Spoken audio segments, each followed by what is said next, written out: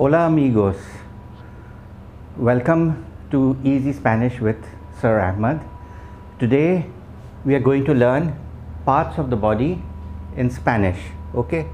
Las partes del cuerpo. El cuerpo. El cuerpo means the body. Okay? Let's begin the class, my friend. Okay? We will go through all the body parts one by one. I'll give you the names in Spanish and the equivalent in English so you can learn them. Okay? Let's begin. First, the head. The whole face and the hair and the top of the head, everything is called la cabeza. La cabeza, the head. Then we have eye, okay? El ojo. El ojo. Both of them los ojos, the tongue.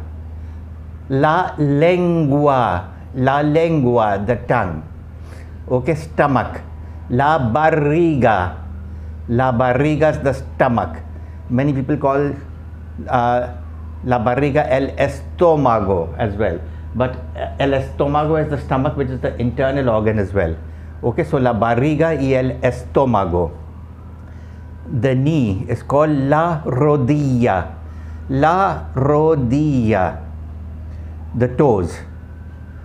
Los dedos del pie. Los dedos del pie. Pie is foot. Okay, the fingers of the foot. In Spanish, we don't have any word for toes. They're called the fingers of the foot. Los dedos del pie. Okay, let's go to the other side. The hair. El pelo. El pelo. I taught you in a previous lesson. Uh, the hair was called cabello as well. Cabello, not caballo. Caballo means a horse. Cabello is hair. Now, cabello is used, cabello only for the hair on the head. We use cabello. Pelo can be used for hair on the head or hair on other parts of the body as well. For example, hair on the arms, hair on the legs, etc. Hair on the chest, anywhere. Pelo. Otherwise, cabello is only hair on the head. Then we have the ear, la oreja. Both ears would be las orejas, the mouth. La boca, la boca. The neck, el cuello, el cuello, the neck. Okay, the arm from here till here is called el brazo, the whole thing from here till here. El brazo, elbow. Elbow is called el codo, el codo, the elbow, el codo. The hand, la mano, la mano. Okay, now mano is not a masculine noun, it's not el mano. This is an exception, it's la mano. Both hands will be las manos. Okay, and the fingers, los dedos. One is el dedo or un dedo, el dedo, un dedo, and los dedos, all the fingers, los dedos. Okay, pierna, pierna is the part from here till the foot is called pierna. Okay, and the foot is called pie, as I had already told you.